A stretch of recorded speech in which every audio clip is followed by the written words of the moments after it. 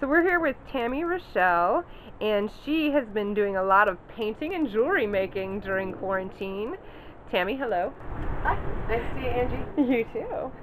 And so you said you've painted for a long time. Can you tell us how you get into how you got into that, or like how long you've been doing that? Sure. Um, all growing up, I was always painting and drawing, mostly painting and drawing um, people. And then when I was in high school and college, I took art classes, and I got a little bit more into watercolor and abstract. And then I stopped painting for about eight years, I think, and I'm not sure why. And then I went through a pretty traumatic situation. Um, I was in Australia and I moved back to the U.S. And my mom said, "Hey, here's 100 bucks. Go to the store, get some canvas and some paint. You need to paint." Because I was really in a, a tough spot, and she, for some reason, knew that painting might kind of helped me get out of that. So I started painting again. I think it was in 2006, and I've been painting. I started painting 75 paintings that acrylic abstract on canvas that year. I painted like 75 paintings, and then I just sort of painted throughout the years. This quarantine time, though, I've painted like five or six hundred small paintings. So, been busy. so with my paintings, the ones that I've made uh, this summer mainly have been when I don't have words to express what I'm going through, and I kind of just took different mediums like food coloring. Um, I've used food coloring, and then I've used even kitchen tools like a basting brush, or um, really anything I can find that might make an interesting texture, and just paint it on a canvas or on paper, just all different colors, all different textures, without even thinking about what I'm trying to paint. Because sometimes when it's been really difficult, my brain I can't even imagine what to paint, and I feel stuck. So I just started painting, getting all the expression, all the colors out, and then cutting them into small pieces, looking at each piece and saying, what does this look like? Oh, I can see a woman here by the river, and then start drawing around the chaos and making order.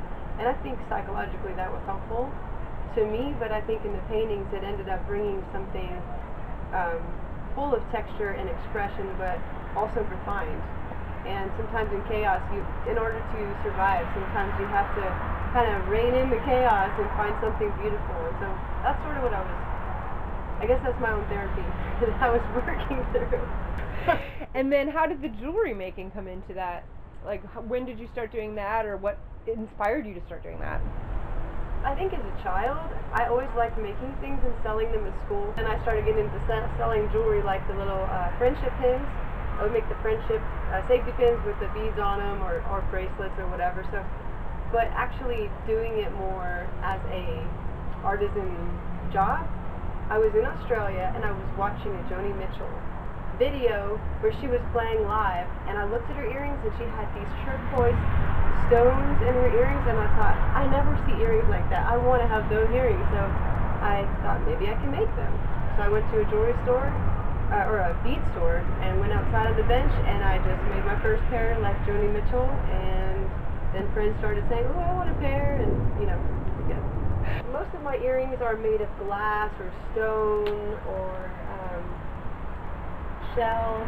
Well, I like to use more natural type elements or whatever. I don't like to use plastic and they're all made with surgical steel, so anti-allergy hooks on them and some of them I've gotten around different countries. Some of them I got from Germany. I've had these little, not babushka dolls, but matrushka dolls. I have a bunch of them that are I got from Germany. They were the cutest little beads, and some of them I purchased when I was in Australia. Um, some of them are uh, my friend Dixie. She's a she's a sweet lady. She lives in England, and a good friend of mine, and she makes jewelry and everything, so she's given me some beads to exchanged some beads when I'm over there. Oh, and I got some from a friend in Germany too. So I kind of do exchanges with friends, the beads, and pick them up when I'm traveling around. And um, you're a musician mm-hmm. also, which um, you know Tammy and I were talking about off camera that she didn't get to play out this year like she normally does, and a lot of people are in that situation. Mm-hmm. So have you sort of leaned into more of these visual arts this year just to kind of replace not being able to sing live? Absolutely. yeah, we had a, two month European summer tour. So I started just doing more visual art and making jewelry, doing something to occupy my creative side because, yeah, COVID it wasn't easy on the creatives. Right. or independence or you know Yeah, self-employed. right. I have been working on getting all of my paintings available to have prints on canvas and on paper. Mm, and okay. you can enlarge them and everything, and we found a way to make them enlarge really well, which is really exciting. And I've been selling the earrings mainly online through my website or Facebook.